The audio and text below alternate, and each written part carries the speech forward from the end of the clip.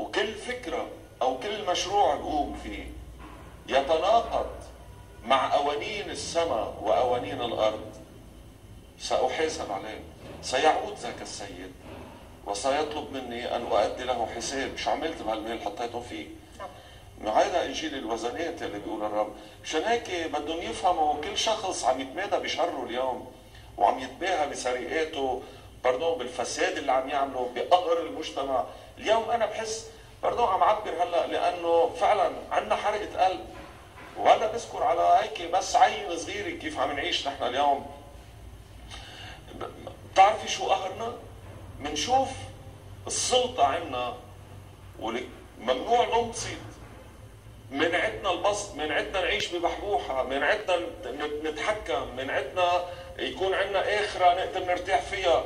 منع عنا سن الشيخوخة منع عنا التأمين سرقة الضمان منع عنا إننا نقدر لقمة العيش اليوم ليه لبنان بده يكون بالتعتير شو ناقصنا ما بنكون من الدول الراقي شو ناقصنا؟ أحلى طبيعة عندنا عندنا أذكى شعب عندنا مؤسسات عم تطلع ناس بس يسافروا لبرا عم يبدعوا. طيب ليه بلبنان عم بخربوا؟ لأن عندنا سلطة فاسدة.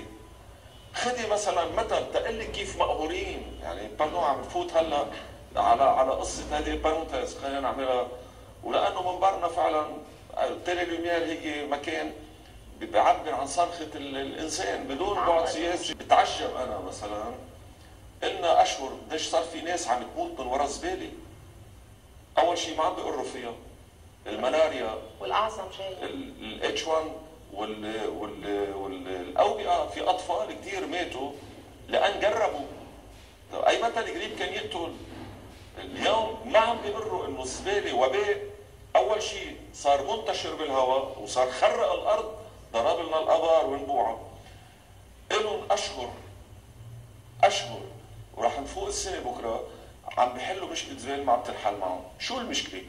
كل دول العالم اليوم الزباله بالنسبة لها مورد عيش، مورد ربح. يقال إنه اغنياء اللي بيشتغلوا بهالمجال هذا من الزباله اليوم بتطلع مصاري للدولة.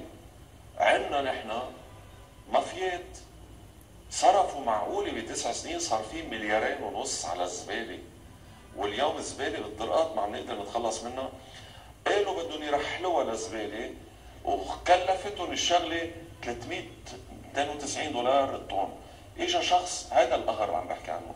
اجى شخص هيك مرة عم بسمع على التلفزيون قال يا عمي ب 80 دولار برحلها وبمضي مع الدولة بند جزائي إذا خليت بالقانون والدولة قايلة بسنة وثمان أشهر بدها ترحلهم أنا بسنة ب 12 شهر بكون خالص الزباله ب 80 دولار. عطي العرض للدولة ما عم يقبلوا فيه. هذا قهر مين بيقدر يطالبهم ها؟ المفروض قدام هالكلام القضاء كله يتحرك. ويحاسب القضاء ممسوك. برضو عم بحكي هلا. ليه تحرك القضاء قدام الخبرية. وليه بذات الوقت زبالة مش قادرين نتخلص منها. بدك تقولي لي ما في وسائل وما في أساليب؟ في أساليب كثير الدولة ما معها مصاري أغنى دولة لبنان. أكبر ضرائب وأعلى سعر فاتورة كهرباء وأعلى سعر تليفون وكل شيء غالي فيه. صنفت بيروت ثامن مدينة بالعالم آه، المدن الغالية. شو يعني مين فكرين حالهم عم يتلذذوا بقهر الناس. هيدا القهر مفكرين هن قلت لك إنه القضاء على الأرض لاقطينه وما حدا بيقدر علينا. مش عارفين إنه هاي الطاقة والسلطان اللي عطاهم إياه الرب. هيدي سلطة مال سلفهم إياه. لما وقف يسوع قدام بيلاطس قال له عارف عندي سلطان أحكم عليك أو قفلتك؟ بيطلع في يسوع قال له لم يكن لك علي من سلطان لو لم تعطى من فوق. معناتها كل سلطة على الأرض أعطيت من الله. سلفي هيك نعم. هيدا العمى إذا بدك هيدا جهل قهرونا وعم يقهرونا وما زالوا ومفكرين انهم كمشين مش عارفين أكبر أباطرة لأن كانوا ظالمين بلحظة. بس إجت ساعتهم هروا مثل الغبرة اللي بتضربها الريح. شايف الغبرة بس تضربها الريح تنتسر ما بتقعد تشوف اثارها وين ويطلعوا بزعماء كثير بدول غيرنا كيف بلحظة بس إجت ساعتهم نزلوا. لأن ما في ظلم بدوم. بدهم يعرفوا الناس إنه في الله ونحن تحت نظره.